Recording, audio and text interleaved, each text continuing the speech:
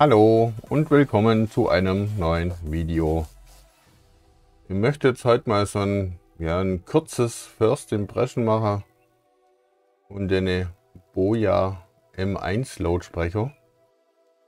Mit Lautsprecher, Kopfhörer und Mikrofon von dem Lavalier-Mikrofon. Da wird die Same schnackelt lang. Wir gehen mal runter auf den Tisch und wir packen das Ding überhaupt mal aus.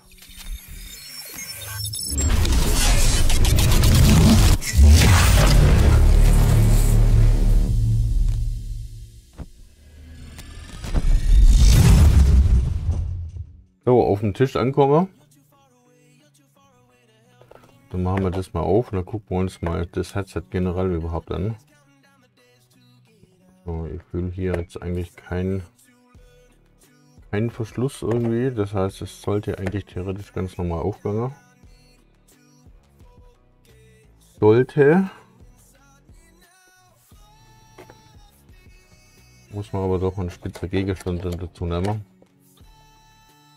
Und da möchte ich jetzt einfach mal probieren, ob ich das jetzt mit so einem TRS Adapter oder TRRS auf TRS Adapter zum Laufen kriege und mal den ganzen Verpackungsinhalt angucken. So, sind auf jeden Fall Oja Aufkleber mit dabei. Dann ist eine Garantiekarte wird das sein, denke ich mal und eine Boja Bedienungsanleitung. Die gucken wir jetzt mal geschwind an. Ob mir da irgendwie grobe Fehler findet, weil es könnte eventuell gefälschte Mikrofone sein. Ich habe keine Ahnung.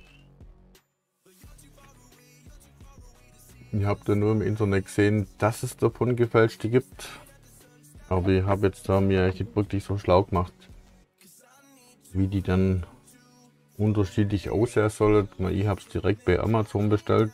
Ich gehe davon aus, dass es Originale sind. Aber ich bezweifle das fast, weil hier ist alles in so einer Tüte einpackt. Und da muss aber Batterie drin sein und wenn die Batterie lose hier drin liegt, was sie tut, dann gehe ich mal davon aus, das ist kein Original. Das wäre jetzt natürlich echt schade. Ja. Sei es drum, ob original oder nicht. Ich möchte mir letztendlich erstmal von der Qualität überzeugen lassen, ob das Ganze so funktioniert, wie ich möchte. Und natürlich auch den Lieferumfang angucken. Okay, also die Batterie ist zwar eine separate Folie mit drin, aber hm. ob original oder nicht original, sei jetzt mal dahingestellt. So, dann ist noch ein Popschutz dabei. Hilft natürlich auch ein bisschen gegen Wind, aber ich hauptsächlich, wenn es nah am Mund ist, dass man die Popgeräusche mit aufnimmt.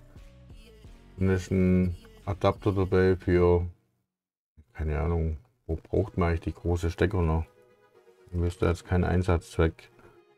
Und diese Klemme, diese Klemme ist die hier nicht schon dran. Ne? Das heißt, wir brauchen jetzt diese Klemme, dass wir das erstmal hier festmachen können. Die brauchen wir auf jeden Fall, weil wenn ich das Mikrofon irgendwo hinklipsen kann, dann macht das keinen Sinn. Dann kann ich das halt wirklich testen, weil ich werde mir kein Ansteckmikrofon kaufen, dass ich das zum Schluss mit der Hand hebe. So, Mikrofon. Jetzt müssen wir Mikrofon natürlich selber gucken wo man das einklickt.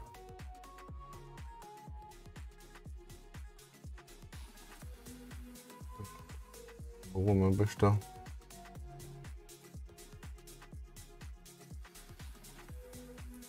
Klack. Und drin. Man kann es theoretisch jetzt auch von der anderen Seite machen. Aber ich habe am liebsten das Mikrofon dann praktisch so ins Hemd rein dass mir das auf die linke Seite rüber. Keine Ahnung warum. Und jetzt aber bei alle Mikrofone eigentlich so. Dann mache ich mal auf der Seite den, den, den Dinger weg. dass jetzt schon mal zumindest eine Kabellänge von, was ist das? Meter, Meter 50. Hier haben wir dann das Zwischenstück und rein vom Zwischenstück her würde ich eigentlich fast sagen, es sieht, es sieht eigentlich original aus. Aber wie gesagt, das kann natürlich auch täuschen. So, hier sollte jetzt noch keine Batterie drin sein. Die wird nämlich hier irgendwo reingelegt. Hier ist noch keine drin. Und eigentlich sollte da irgendein Bändel drin sein, wo man das dann nachher auch wieder leichter rausziehen kann. Wo ist der Bändel? Ich sehe hier kein Bändel.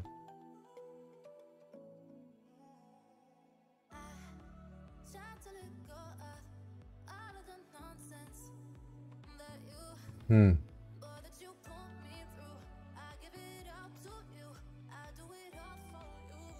Und da steht jetzt eigentlich doch hier Plus nach oben, Minus nach unten. Also, aber wir probieren das jetzt erstmal ohne Akku. Ich möchte jetzt wissen, ob ich das an der Kamera hier aktiviert kriege. Das heißt, ich stecke das jetzt mal schnell ein und dann sehe ich am Audiopegel vom Computer, ob das noch aufnimmt.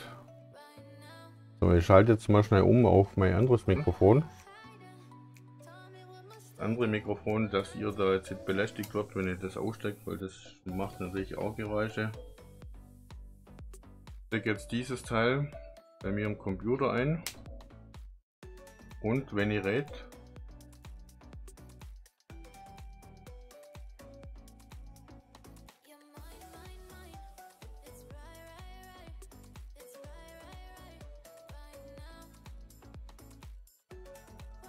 Es hat gerade etwas ausgesehen, dass man meinen könnte, ich hätte einen Ausschlagpegel, habe ich aber nicht. Heißt, ich nehme jetzt diesen Adapter und stecke den dazwischen. Dann schalte ich das Mikrofon nochmal aus. Hier die Geräusche hört. So, wir haben jetzt hier einen TRRS-Stecker. Stecke das hier ein und das stecke ich in mein Verlängerungskabel zur Kamera ein. Hallo, hallo. So, jetzt haben wir den ersten Test. Jetzt habe ich tatsächlich das Boja-Mikrofon hier im Laufe. Das liegt da auf dem Tisch. Ich tippst mal einen Hals hin. So, ist jetzt am Hals, aber der Ausschlagpegel ist relativ laut. Das heißt, ihr muss es hier noch ein bisschen bisschen Laserdreher. Weil sonst bliebe ich zu arg ins, ins Rote rein.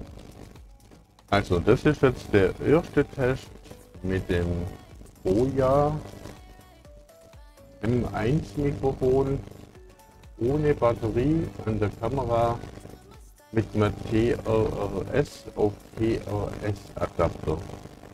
Und das Ganze möchte ich jetzt natürlich ausprobieren ohne Adapter mittels dieser Batterie. Also die stoppt die, beziehungsweise ich wechsle jetzt nochmal die Mikrofone. So, jetzt habe ich wieder mein Blue Yeti Mikrofon. Jetzt kann ich das hier in Ruhe ausstecken. Ich stecke jetzt hier meinen TRS Adapter wieder aus. Mache das Teil hier auf. Und baue hier die Batterie ein.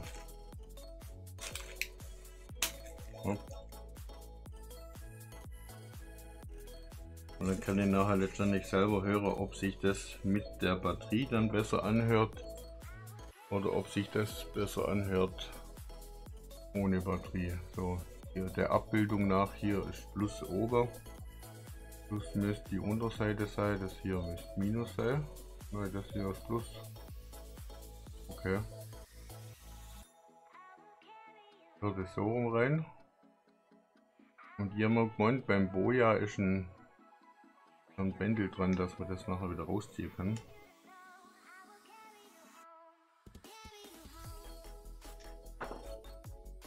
Ja.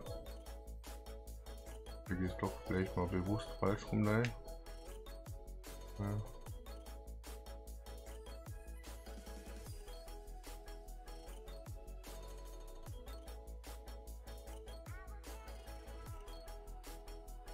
Okay, geht ein bisschen schwer rein. Dann können wir diese Kappe wieder zuschrauben. Dann stecke ich mal das Mikrofon ein, das ist noch stumm. So, hallo, hallo. Ausschlagpegel habe ich jetzt noch keiner. Ich schalte jetzt mal das Mikrofon schon mal dazu. So, irgendwas, irgendwas ist aber gerade nachgegangen. Und jetzt theoretisch, wenn jetzt hier den Schalter auf Kamera, also ich muss das dann hochstellen auf Kamera, dann müsste ich das Mikrofon dazu schalten. Hallo, hallo, hallo. Kann ich, du die ausschalte, jetzt habe ich hier auf Kamera geschaltet. Jetzt kann ich über die Kamera mein Ton einspeisen, wenn ich jetzt hier runterfahre auf, auf Off bzw. Smartphone. Ich.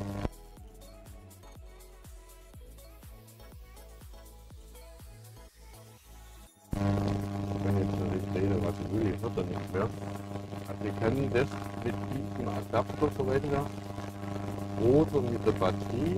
Wenn ich mit der Batterie kann ich jetzt hier halt immer einen Stücker wenn ich auf Kamera gehe, dann funktioniert das über GRS-Anschluss.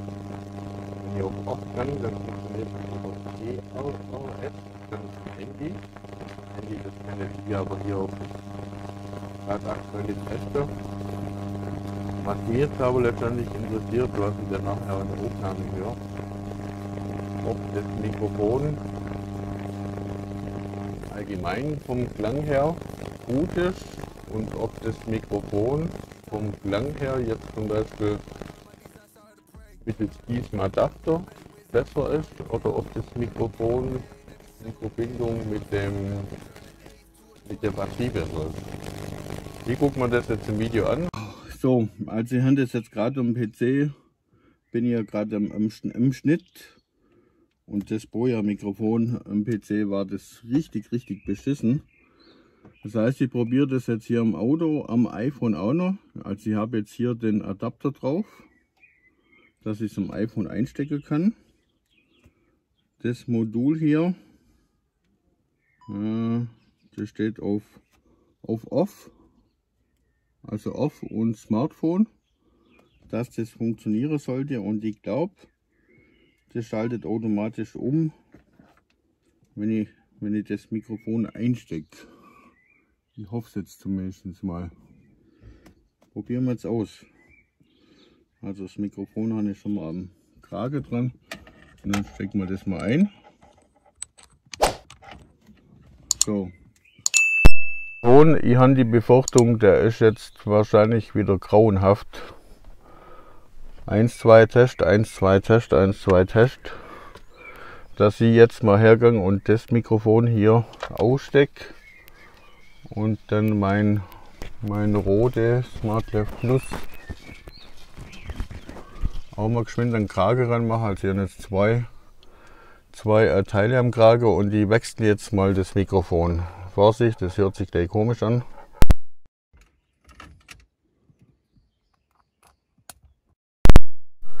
Das ist jetzt mein rotes SmartLeft Plus.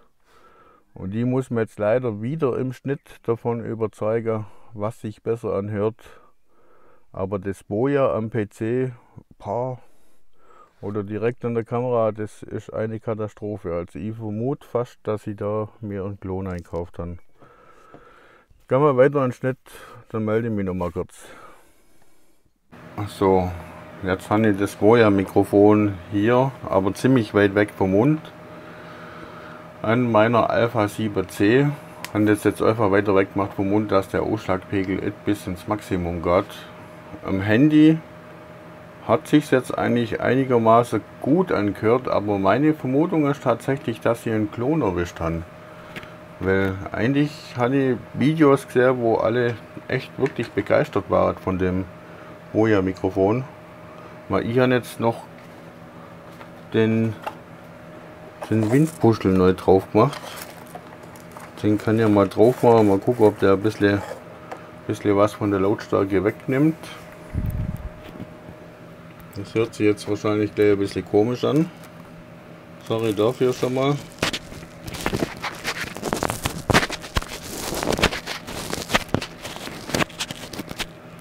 So, den Windpuschel haben wir jetzt drauf. So sieht es dann aus. Und jetzt klemme mir das Mikrofon mal an den Kragen hin, da wo es eigentlich auch hingehört. Und jetzt in meiner Alpha 7C, da sieht es vom Tonpegel eigentlich irgendwie fast normal aus. Das ist jetzt echt, echt merkwürdig. Aber gut, vom Tonpegel hat es vorher jetzt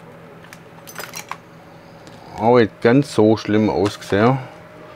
Aber was jetzt immer mache, ich nehme jetzt mein, mein Sony Mikrofon, wo ich weiß, dass es gut ist. Das klemme jetzt mal daher, weil das ist auch direkt für die Kamera und stecke das jetzt einfach mal um. Das kann jetzt gleich Nebengeräusche geben.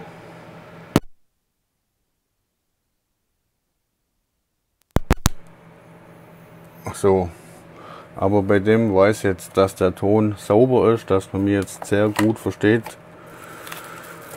dass ich jetzt letztendlich auch die Abmoderation von dem Video machen kann.